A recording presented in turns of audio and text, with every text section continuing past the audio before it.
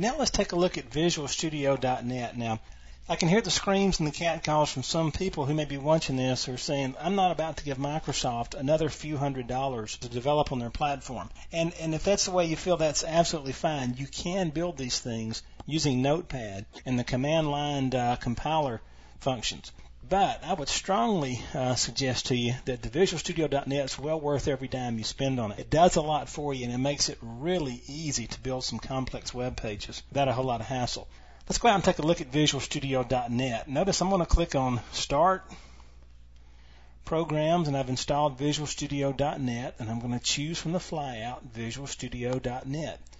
And there's a couple of things I really want you to see here. This is not a Visual VisualStudio.net course, and so I'm not going to try to make it one. But now, I don't know how the video uh, is going to turn out here, but notice I can see some projects that are already there and I want to create a new project and there's a couple of things I really want you to see here. So I click on new project and then notice my choices up here, Windows application. These are all in the same uh, IDE now. I'm going to choose ASP.NET Web Application and I'm going to change and I'm going to set the name of it to something easily recognizable. I'm going to say simple ASP example. So remember, we create a simple ASP example. Now what this is going to do when I click OK not only is it going to set me up with certain defaults, it's also going to contact the Internet Information Server, create a virtual directory for me, and put the uh, default files and functionalities that I need out there. And that's a huge step. So I'm going to click OK, and you'll notice a little box pop up here, creating that uh, uh, particular location in IIS. So what it gives me now is a blank web form, a generically named web form ASPX. I could go out here and change the name on it if I would like uh, to be something else. But for now, we're just going to leave it alone. Okay? Uh, notice if I right clicked here, I can save it and I can do some functions to it. But for now, uh, let's leave it alone.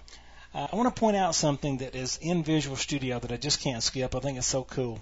You always have trouble running out of screen space out here to do your coding and stuff. In a later video, we're going to talk about how to code this and how to get around in here. But notice Microsoft has put these little push pins in Visual Studio, and if, if it's vertical, then it's locked and it's always there. But if I click on that push pin and it goes horizontal, you'll see it laying over here. Now when I move off of it, it slides over out of the way. And if I want to see my toolbox again, I simply mouse over the toolbox and it slides out and I can grab this uh, this object and, and place it out here. It does the same thing over here for Solution Explorer and for properties, and so I can determine uh, how these things work. Now, just to kind of uh, give you something to play with here, notice I can change the speed on these things, and I'm going to speed it up quite a bit so that when I move over them, they, they get out a lot faster, and so I don't have to sit and wait. So there's a lot of things out here. Uh, we'll come back and talk about entering code a little bit later in Visual Studio. But you'll notice here in Visual Studio, very simple for me. I don't, I'm going to pin this so we can see it. If I want a button on my web page, I click, draw my button where I want it. Then let's say that I want a text box, okay, and then I want a drop down list. So I put those both on here and notice they're there. Now if I execute this or run this, it will compile it and set it up and so forth. And it will show me the web page in a web browser. Notice there it is. Now, if I don't like the way I've got it laid out, I can come back in here.